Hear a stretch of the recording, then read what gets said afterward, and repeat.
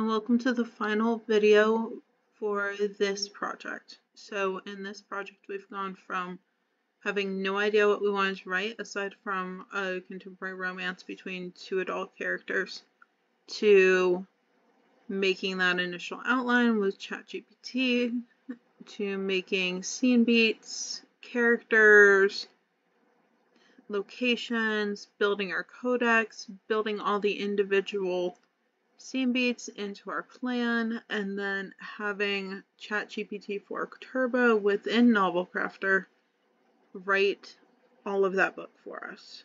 So now I'm going to show you kind of the last steps before I start editing. And I don't edit in Novel Crafter, I actually edit in Docs. So for me, this is kind of my last wrap up for this book before it goes live on Kindle. So, or, you know, if your process is an agent or if your process is a publisher, whatever your process is, this will be the last time that potentially you're in Novel Crafter. I don't love Novel Crafter for editing just because it has a lot of the extra stuff in it and I want to really focus on my book and cutting away all the excess. So let me kind of show you what we're doing. We would then click export, which is right here. It's under the settings. And then that exports it into a doc that we can then use in whatever program we want. If you go to the right, you can see that the full whole novel that we did here is 160,000 words. That's a huge book. If you go to the review, which I really love this page because it'll show you, okay, here's, you know, your total word count. Here's your character distribution by scene. Are there a lot of characters? Are there not a lot of characters? You know, your average is three, so and then we have, you know, chapter 9, scene 4 is a little shorter. Chapter 1, scene 4 is a little shorter. Maybe we need to take a look at those. But honestly, a huge chunk of this we're just going to cut because we don't need our book to be 160,000 words long. Most likely, I will be cutting at least 70k of what we made.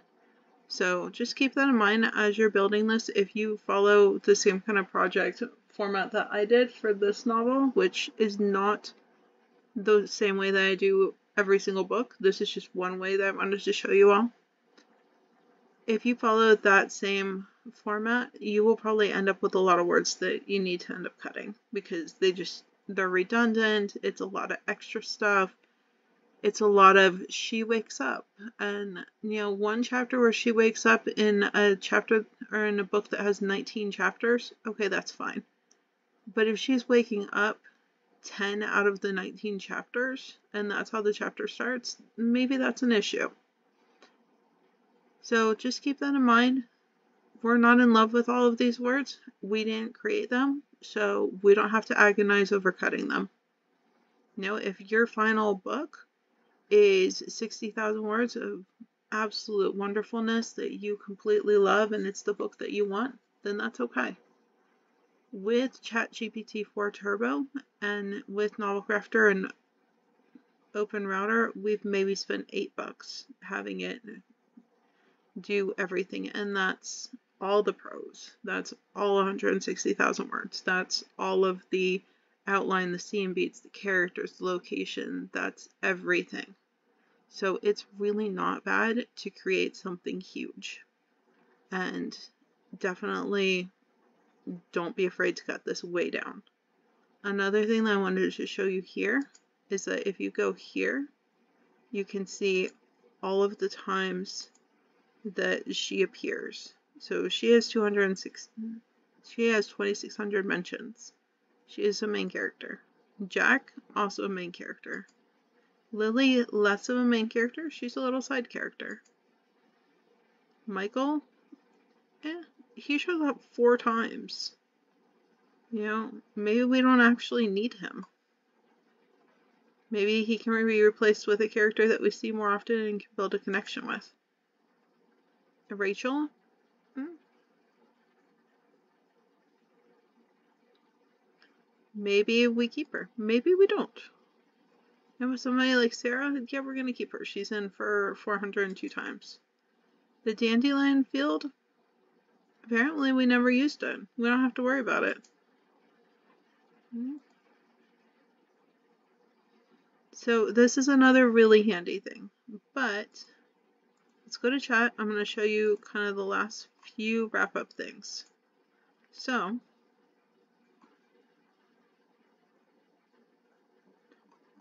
I've already done a, some of it, but I'm going to show you it from scratch.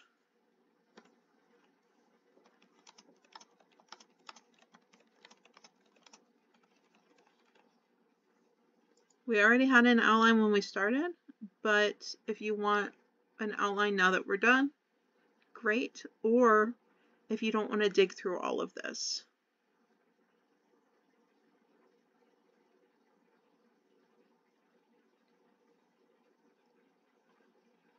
And it'll give you a nice outline and some publishers require outlines.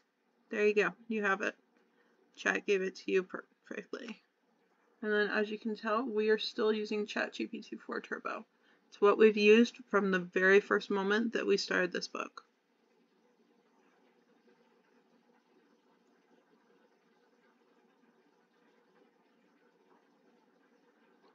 And maybe you want to move around and play with different AIs. That's okay. I wanted to show you consistently with one AI.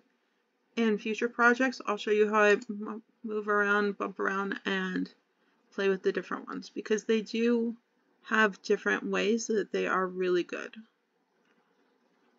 You know, GPT is pretty good all around, so I like showing that one first. So now that we have that outline, that's a blurb. And if you want to do these in multiple ones where you're like, hey, can I get a blurb and an outline? That's okay. Notice it gave it a title. I don't love this title. This is not the title I'm keeping. But because we're not paying per message, we're paying per output, like per characters basically, we don't have to crunch it all into one little output. So I like having it separate where it's like, here's my blurb, here's my blurb. There's my outline, there's why I asked for an outline. So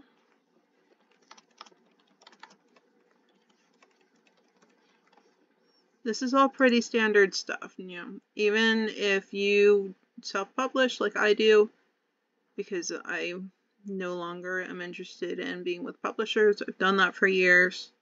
I'm really loving the kind of the freedom of being on Kindle Unlimited and being with Amazon, as scary as it is to have all of my books in one big Amazon basket, but I'm enjoying it. If you're with publishers, that's great. You're probably going to need a synopsis. You'll probably need to come up with your own draft blurb. You'll probably need your own outline. So another thing that I wanted to show you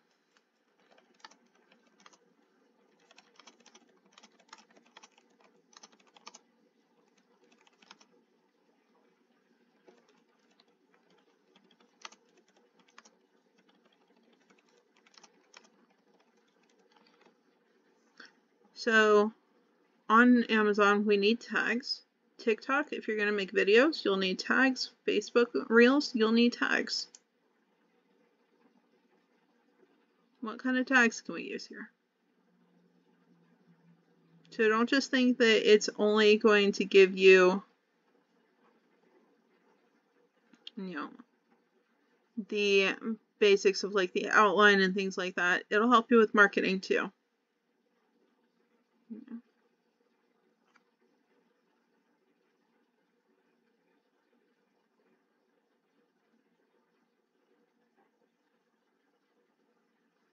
And then I'll tell you kind of basically, know, a few little keywords.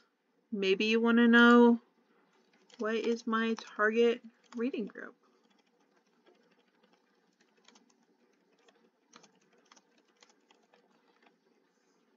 Maybe you want to know your target readers, and that's okay.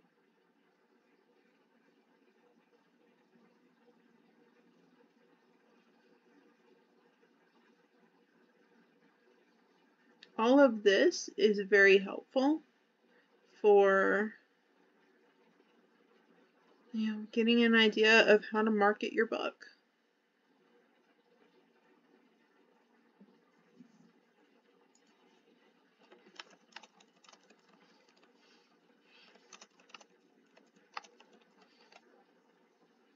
So don't just stop at just the book because there's a whole lot else that you can do in this same chat window for this same novel.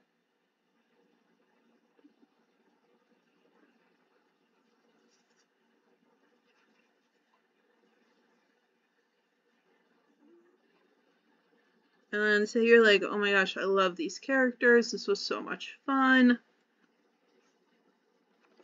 What could happen in a sequel?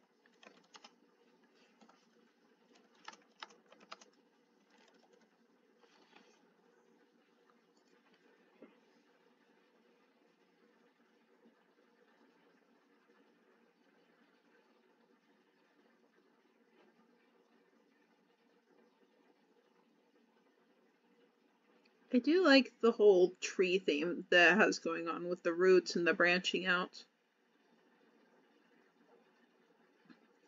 But hey, you've already got ideas here.